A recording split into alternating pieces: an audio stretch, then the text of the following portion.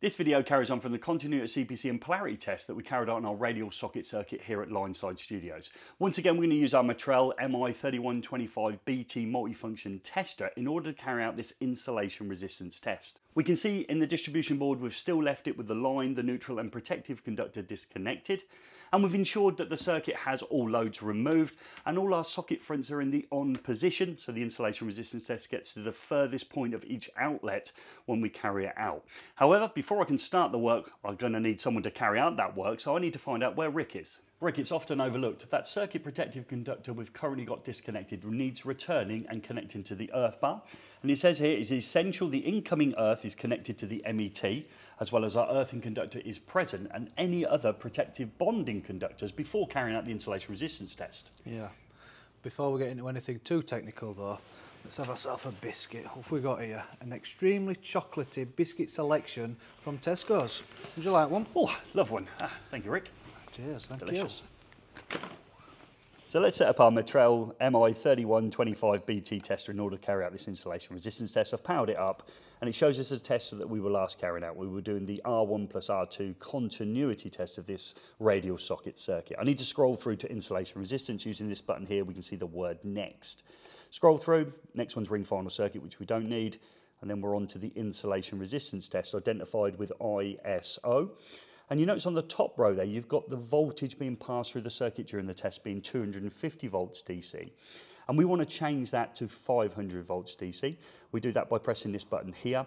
We'll talk about when we can use 250 in future videos. Now I'm going to change that. I can go down to 100 or I can go up. So if I dropped it down, I could go to 100 or I can go up to 500 volts and 1000 volts. So I want to stick with the 500 volts DC for this test. What is fantastic is this end screen here, which sets the minimum passed value for this test.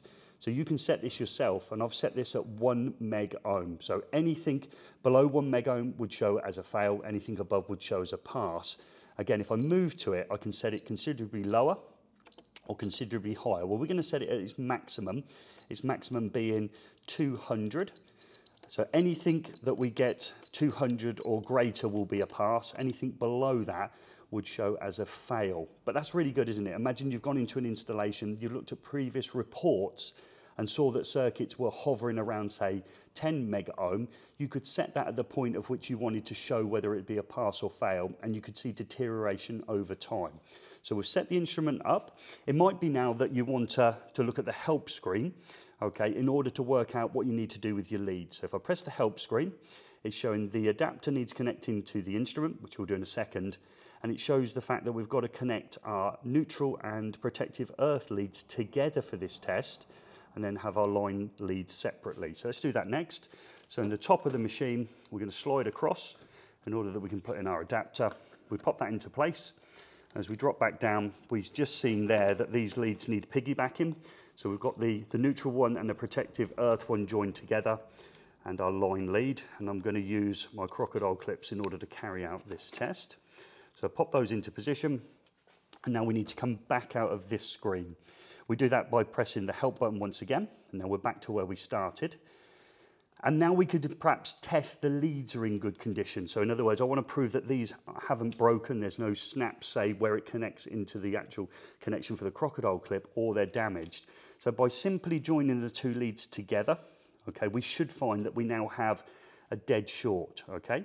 So that would give us obviously zero and it will show a fail, but it'll actually show that we have continuity or a completed lead before carrying out this test. So press the test button. We should expect it to fail. We've got zero, which is what we expected. We see we've got an X to say we failed, and what I really like is we've got this LED light here to tell me that I have a result that I wasn't happy with. Remember, my result had to be 200 mega ohms or greater in order to get a pass.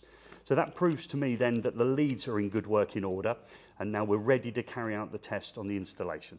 It's time to set Rick to work, and we absolutely love this Metrels tester with the magnet on the back. We've attached it to the trunking, and now we've got to put that circuit protective conductor into the earth bar. Remembering we've got to confirm that there is a source earth into the installation, the earthing conductor is present, and any protective bonding. And because it's going to stay in situ, we're going to return it to a required torque setting using our Wiha torque screwdriver. Well, first we're going to test between our live conductors. It doesn't matter which order we do these in, so we're going to go between our line connection and our neutral. And when we press our test button, we can see we get a reading greater than the machine can read. So our reading there is greater than 999 mega ohms. Next, we're going to test between our line conductor and the earth bar where our CPC is connected. And once again, when we press our test button, we can see it's greater than machine can read, greater than 999 meg ohm. Next, we're going to test between our protective conductor and our neutral connection. And once again, when we press our button, we can see we get that reading once again. But what I really like here is the fact that we get that tick to say that we've got a reading that was acceptable, as well as that visual indicator through that green LED. Remember, we set it at 200 meg ohms as our fail point. Rick shuffled off to squirrel away a few more of those biscuits, but I've got a question for you.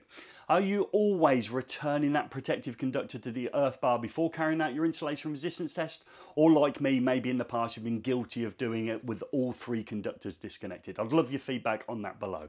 You might be looking at this bag here and wondering what the MI3125 BT tester from Metrel comes with. In order to see that, check out the video on screen just there.